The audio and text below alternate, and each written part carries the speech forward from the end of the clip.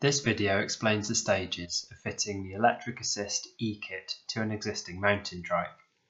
First, check you have all the components needed to do this. The motor, fork and swing arm assembly, battery and mount, controller, display, throttle, wiring and charger. Then you're ready to begin. Start by undoing the steering cables with the 4mm Allen key.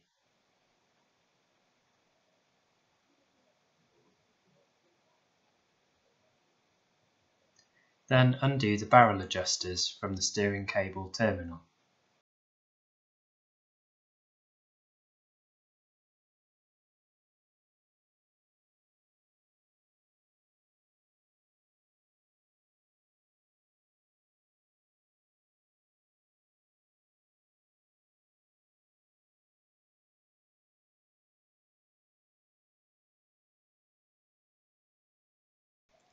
Next, undo the quick release on the rear shock. Then, using two 4mm Allen keys, undo the bolts holding the rear swing arm to the frame.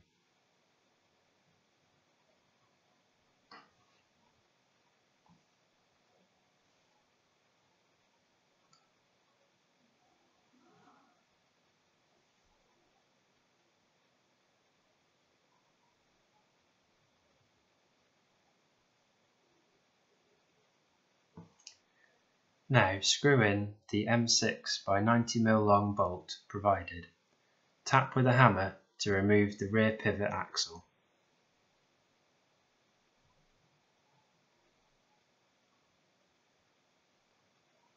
Slide the axle all the way out and remove the original rear swing arm and fork assembly. Keep the spacers safe as you will need those for fitting the new unit. Slide the axle into position in the bearing and position the spacer inside it. Position the second spacer inside the bearing and locate against the main frame. Line up the axle and slide it into the frame. Fit the other pivot pin bolt. Then locate the rear shock onto the rear swing arm and tighten the quick release. Adjust the quick release lever to get the tension nice and tight. Now using the two 4mm Allen keys, tighten the pivot pin bolts.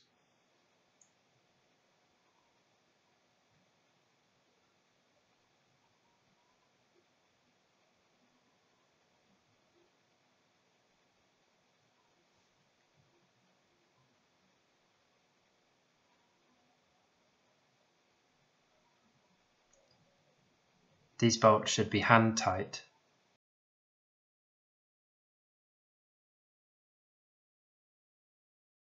Now reconnect the steering cables. For a right hand steer setup, the longest cable goes to the left hand side of the steering cable terminal. Screw in the barrel adjuster. Locate the cable and then fit the cable to the other side of the terminal.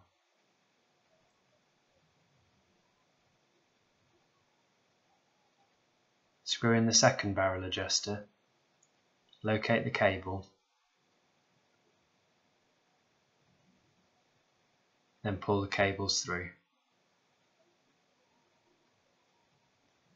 Now screw in the cable clamp bolts, making sure that the washer sits nicely on top of the cable.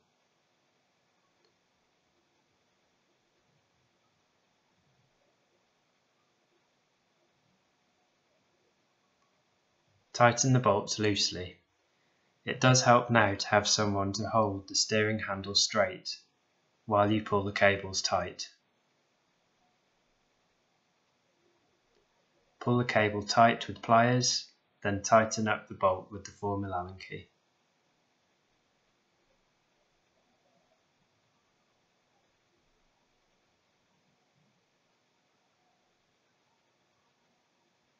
Make sure the cables are tight before proceeding. To fit the battery mount, use the key to remove the mount from the battery itself.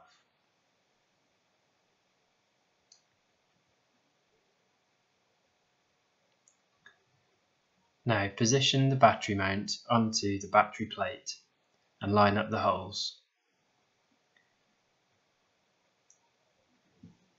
Fit the M5 washer to the M5 screw and slide through from the back. Then use the low profile M5 nylock nut to tighten onto the bolt.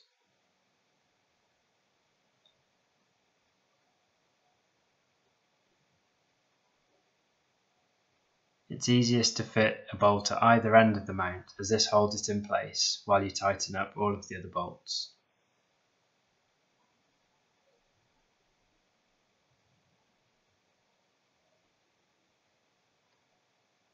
There are seven bolts in total and all are necessary to secure the battery mount to the battery plate. Now use a 4mm Allen key and an 8mm spanner to tighten up the bolts.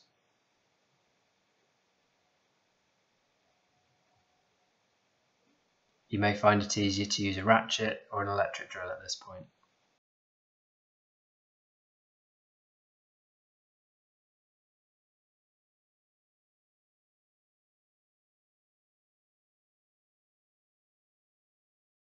Now fit the battery brackets to the battery plate.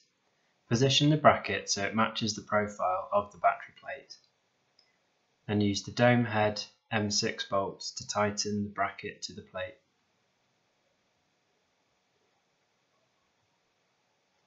Tighten both bolts with the 4mm Allen key hand tight.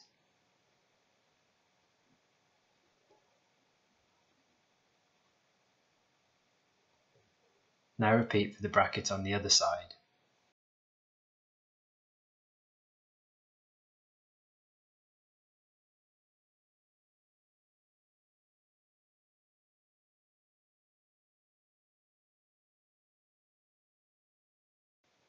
The battery mount is now ready to bolt to the mountain trike. Slide the M6x30 bolts through the battery clamps. Position the battery mount assembly on the frame. There should be an even gap between the shock mount on each side.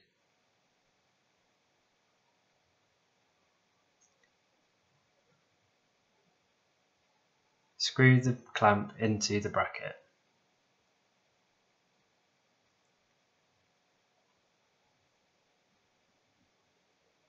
Just tighten up the bolts loosely so that you are still able to position the bracket.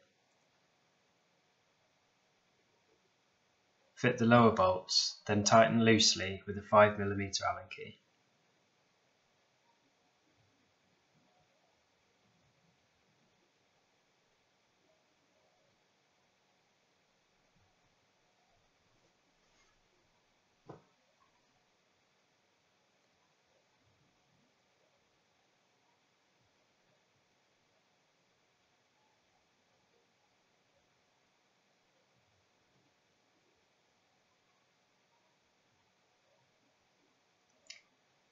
Now rotate the battery mount so that the back face is parallel to that of the seat.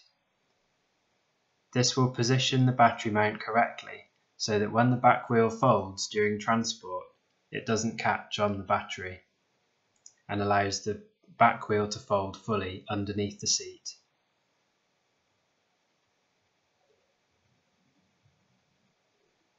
Once you have checked this, you will be able to tighten up the bolts fully. It's also important to make sure that there is an even gap each side of the battery clamp. To achieve this, you may need to loosen one bolt and tighten the other bolt to even out the gaps. Once the gap is even, tighten both bolts hand tight.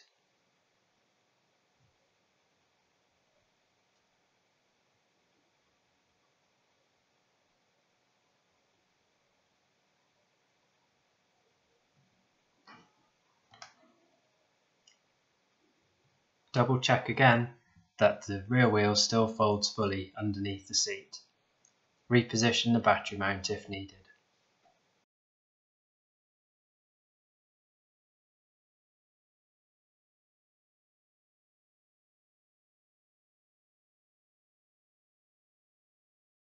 Now fit the battery to the mount. It slides into position and drops into place on the bracket.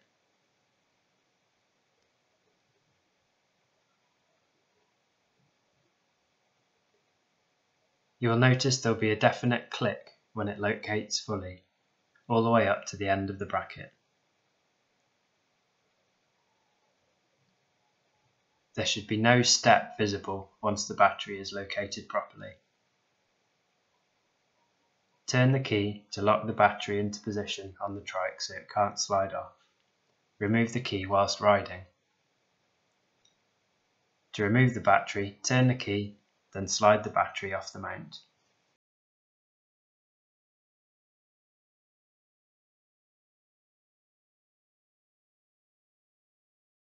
To fit the display and throttle, remove the grip.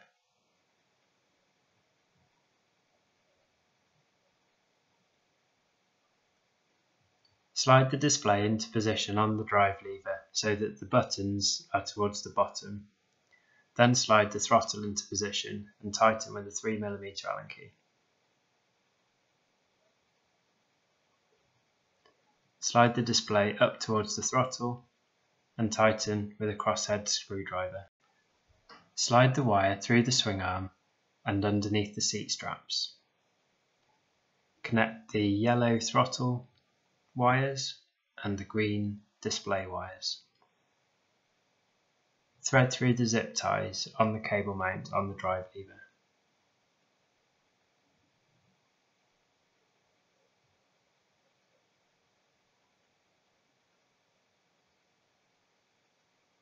Make sure the connectors are aligned so the arrows on the connectors line up.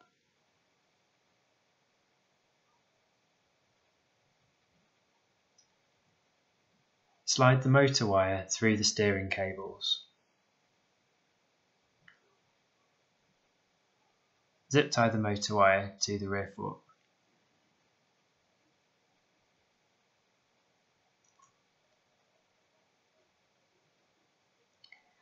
Now connect the controller to all of the wires.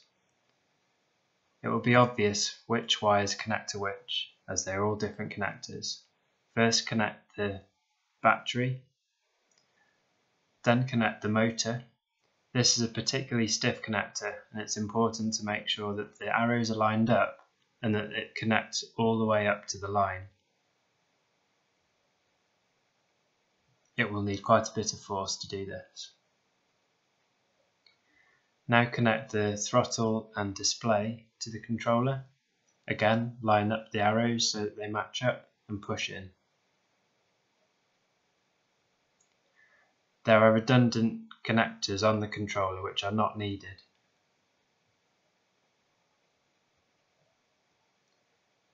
Now zip tie the controller under the seat. It is positioned here so it has good airflow and can cool down.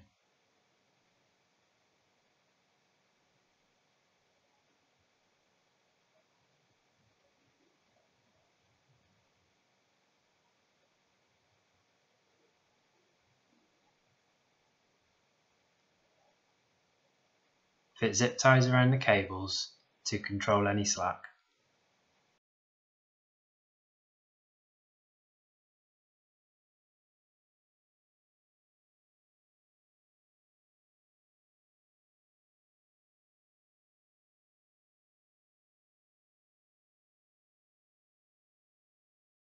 The e-trike battery has a key which is purely for locking the battery to the trike.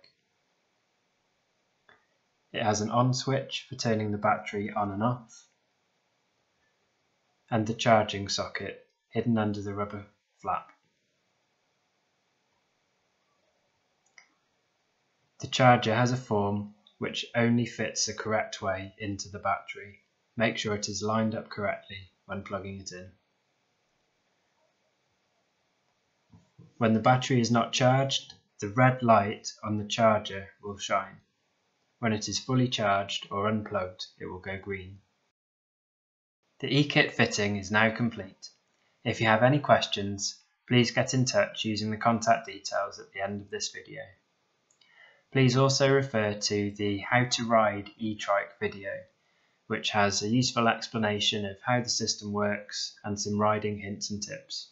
Thank you for watching.